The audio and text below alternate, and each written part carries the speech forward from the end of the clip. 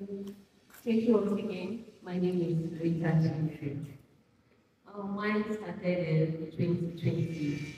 Um, then I was at Abakaliki. I applied to um, MSF. Know, they are fighting in the last paper. So I saw their advert and I, I applied. And then they, they, they, Mary Clarence, one lady from the USA, now called me. She said that she was so interested when she saw my CV, but then I didn't have any experience. I said, I wrote my experience. She said, all of them is pointing to dental technology, dental this, this. I said, okay, what other experience? Well, that's an experience. She said, in SDG. Then I became confused. So, what is SDG? so, she now said, okay, can I see your media handle? I said, okay, I quickly wrote down my social media handles.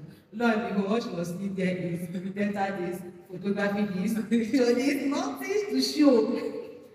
that was how uh, I was disqualified. And I got so angry because that job was 210,000 for a start. Wow. Like I had already planned my life.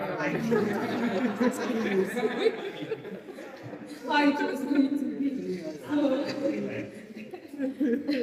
So, immediately, I didn't even have Twitter account.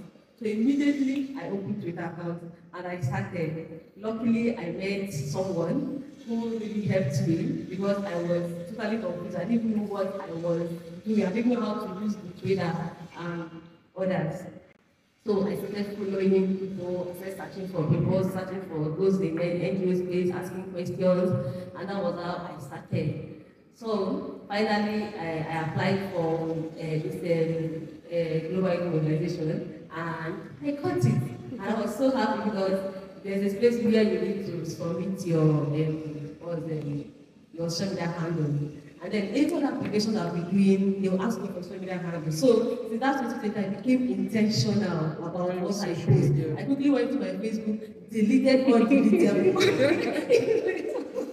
Every nonsense that has nothing to add to my life. So I, I no longer share stuff just to share.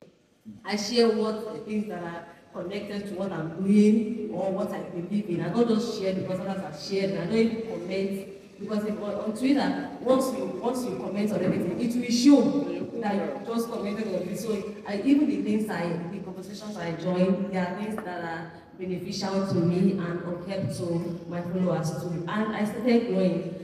So um, recently I also um, joined um, uh, SEP and I did training on social media management and all that. That also helped me a lot. And thanks to Susan, and here we are.